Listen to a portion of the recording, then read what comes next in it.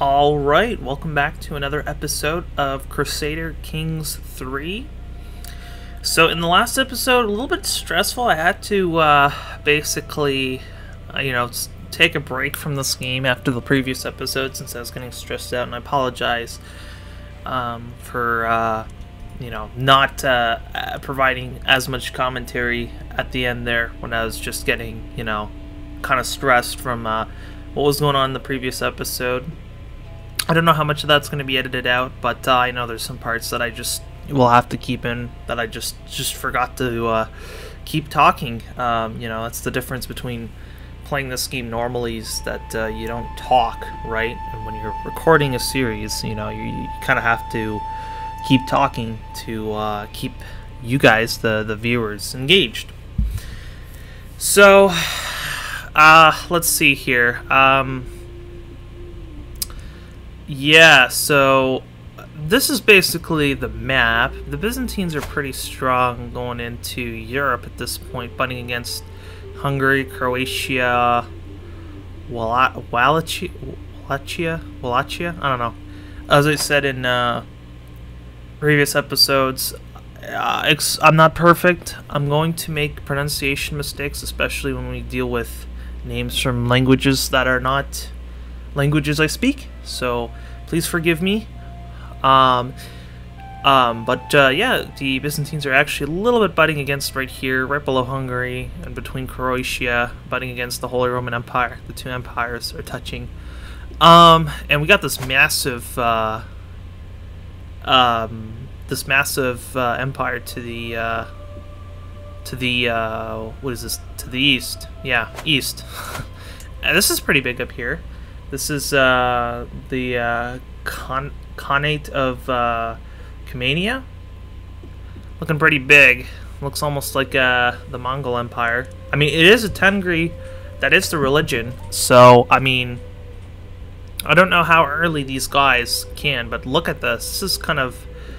This is pretty massive. Um, it's a bit narrow, but uh, pretty massive. This is definitely massive. This is kind of, you know, uh, more Asian-looking people, but uh, it, it is an Ashari Muslim uh, realm, and uh, Egypt is pretty strong as well under uh, Ismailism, which is still a Muslim, you know, country or realm. Um, and this is also Ismailism. This is the uh, Yusufid Emirate. And uh, yeah, speaking of emirates, um, we got um, our expansion was kind of halted in the last episode, um, pretty pretty drastically.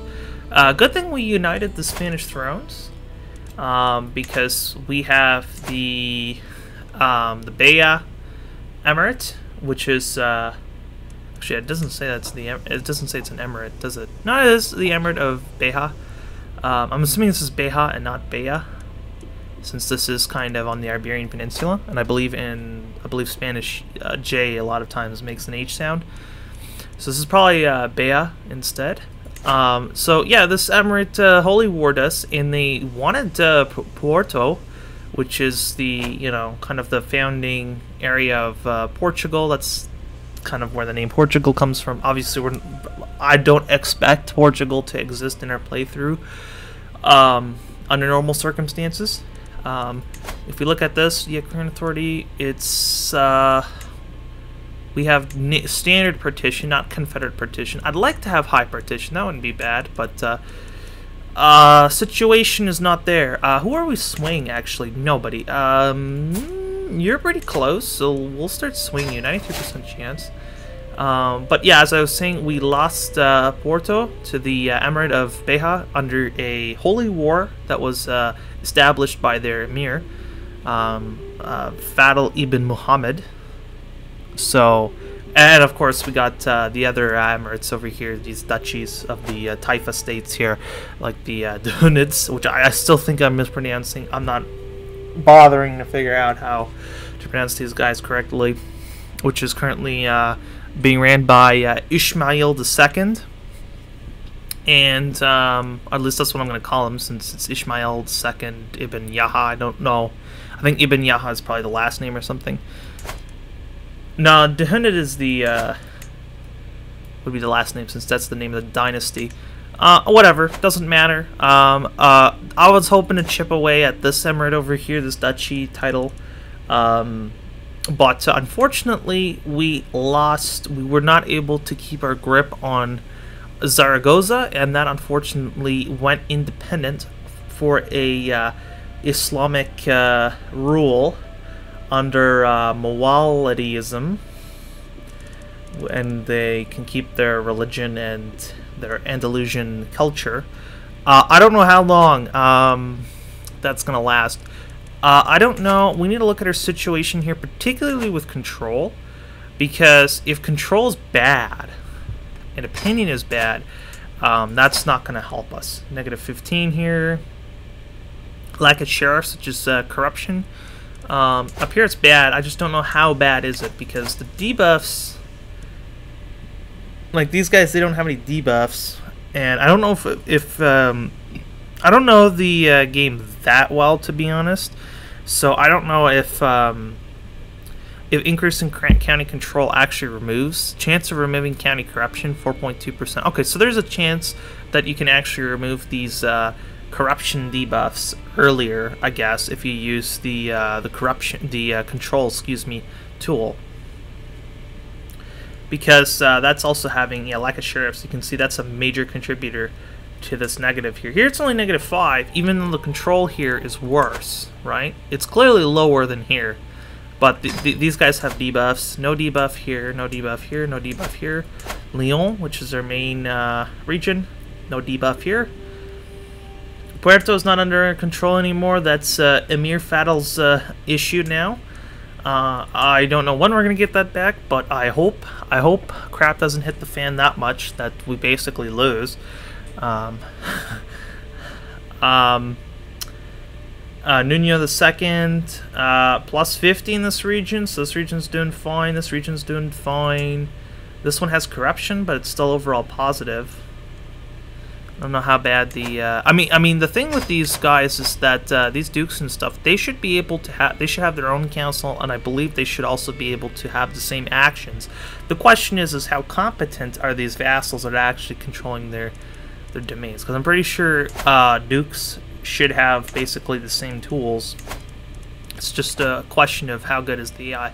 So I definitely want to target uh, this uh, this county over here because I want them to get this before. I mean, actually, November 1093, um, November 24th, 1093. That's not far away, to be honest, since it's already May 2nd, 1093.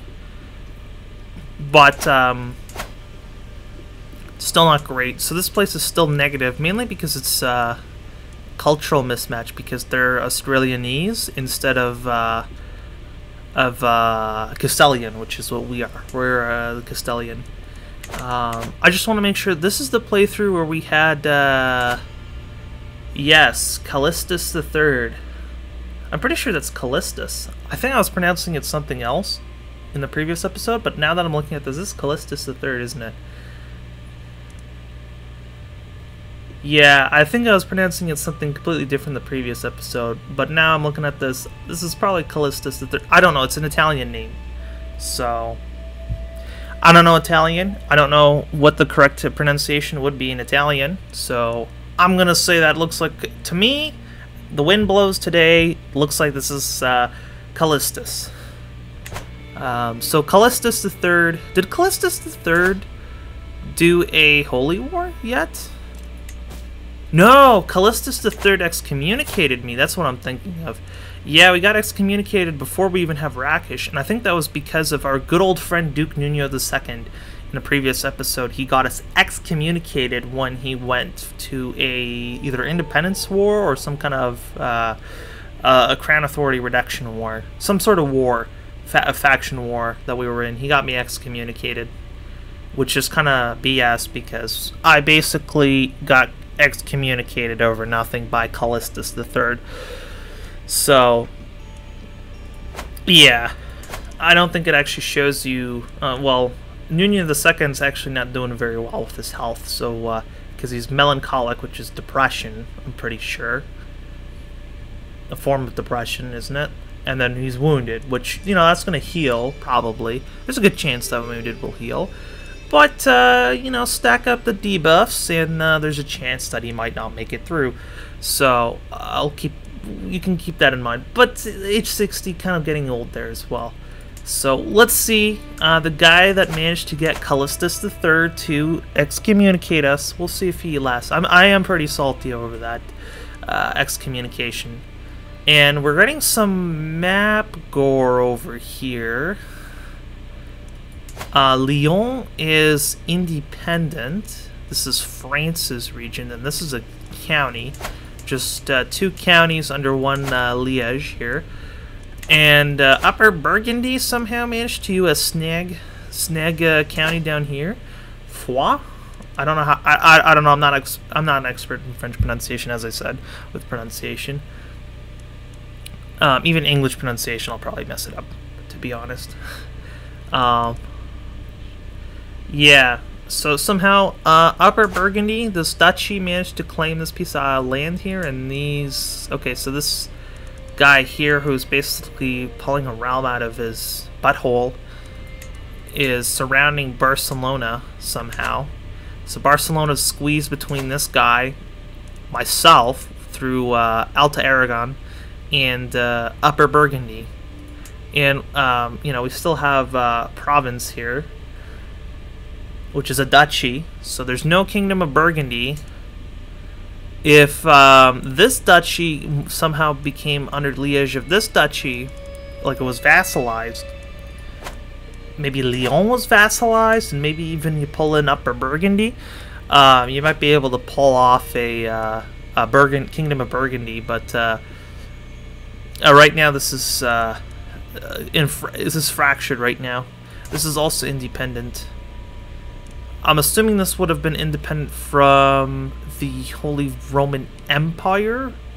And then Poland's looking strong, Hungary's looking strong, Byzantine, they're actually dealing with a revolt with the uh, Duchy of Rashka.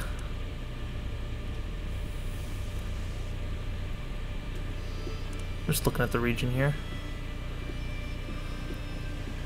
Where's uh where's a region I would actually identify?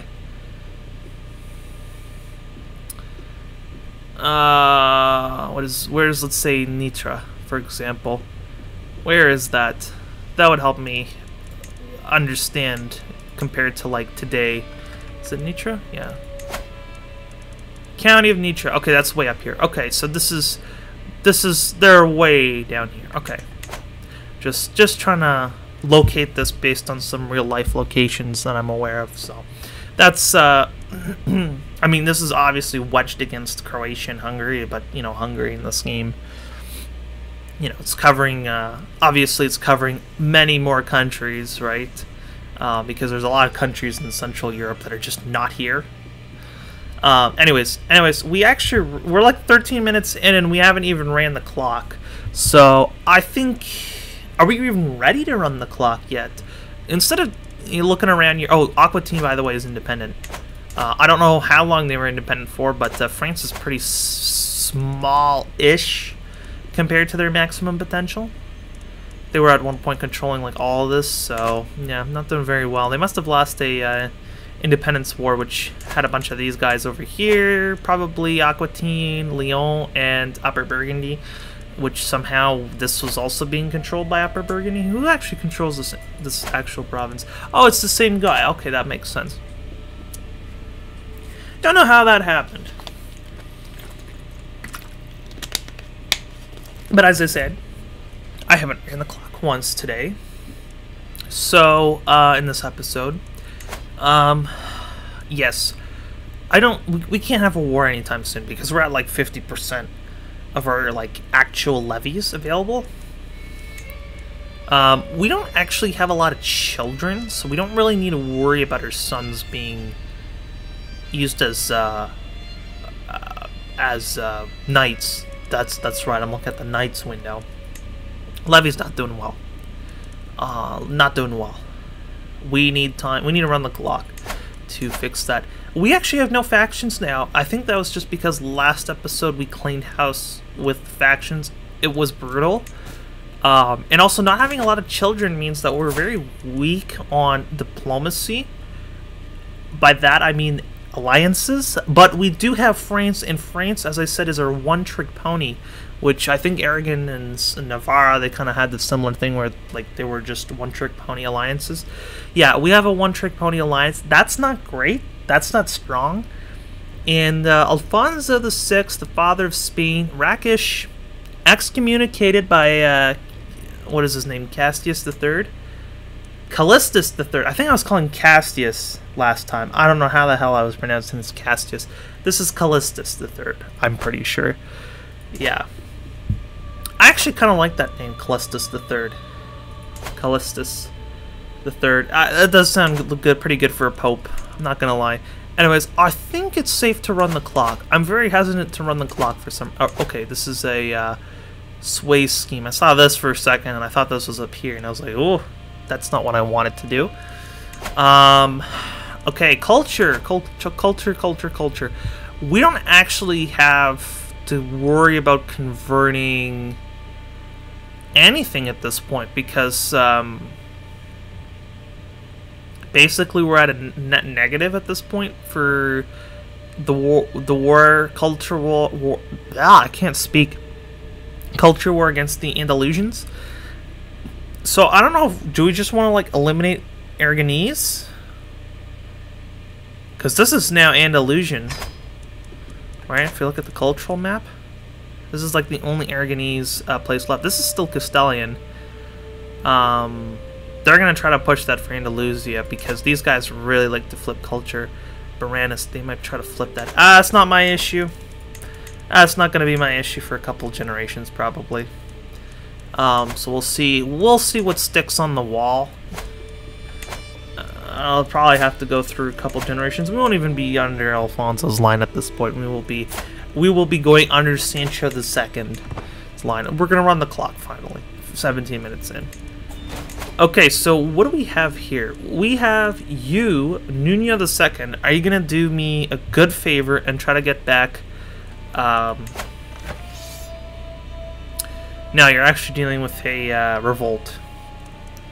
Actually, if you lost to that, would that just be like independent from the duchy? Probably, and and still be under my liege, right? Let's see here. Who are you? You are actually my subject, right? Because, yeah, that's, uh, eh, yeah, it's better if you stay in jail. It's better if your vassals are in jail, you know? Especially when you're old. No real reason. Who are you? Are you my vassal? You... Are! Okay. Nope. I'm gonna stay there. If you want to get out of jail, and you're my vassal, you gotta escape.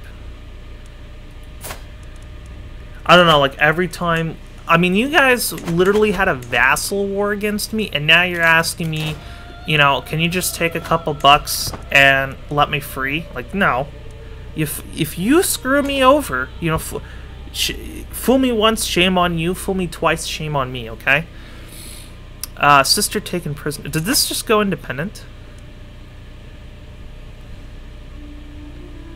I felt like this was not under. No. Oh, this was under. Uh, the Hudids and uh, one independent, I guess. Primary heir is you. how's your how's this your heir? Because the, the the mayor gets it in this case.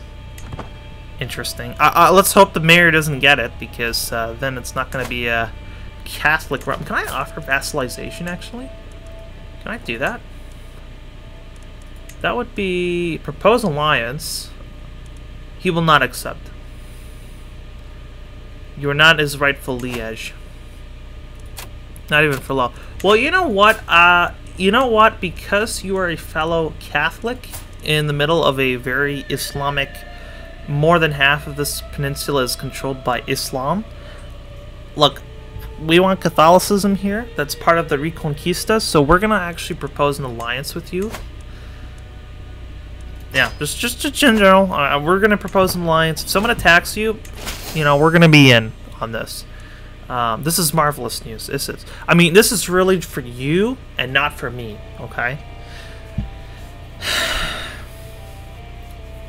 To the sensible King Alfonso of Leon.